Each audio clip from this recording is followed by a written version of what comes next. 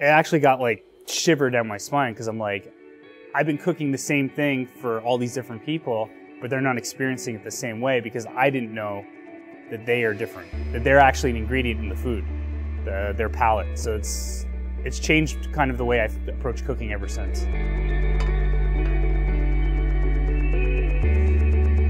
My name is Timothy Roberts. I'm the executive pastry chef of Vox Table, Austin, Texas.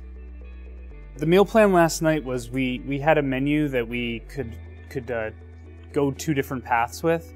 Everyone in the base got the same food: big eye tuna taquito, faux scallop, duck bacon.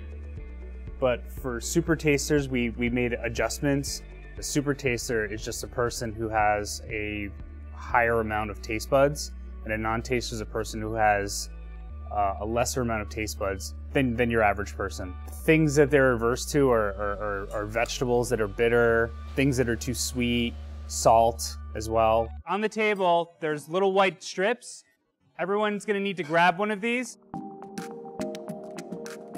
We administered two different types of test strips that have different chemicals. One is PTC, one is thiourea. So basically they just put the test strip on their tongue and uh, they they either it'll taste bitter or it'll taste like nothing. And then we also gave them a menu that had uh, different foods on it that are problematic for super tasters and had them kind of check off things. And based on the results we got from all three, uh, we, we kind of dialed in uh, specific profiles for each person. And we're gonna send super taster first, chef? Yeah. Okay. We're ready? Okay. We did a duck bacon dish nor normal get the sauce, super tasters don't. Yes. For the super tasters, we uh, pulled off cherries. We uh, pan roasted them with butter, and they started to taste bitter.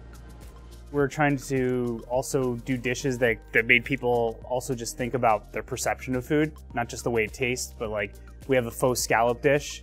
It's made from a mushroom. It's steamed with dashi. It's seared, so it looks just like a scallop.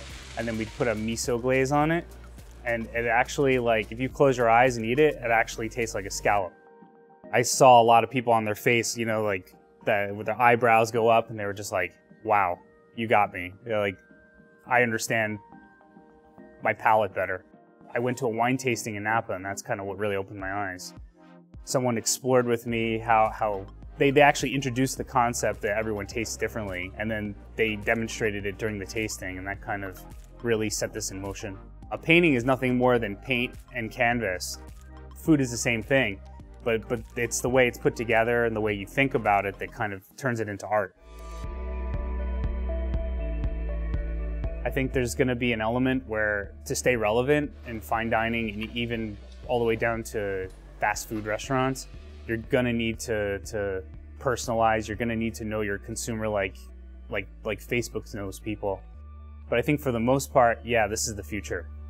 I'll probably spend the rest of my life exploring this.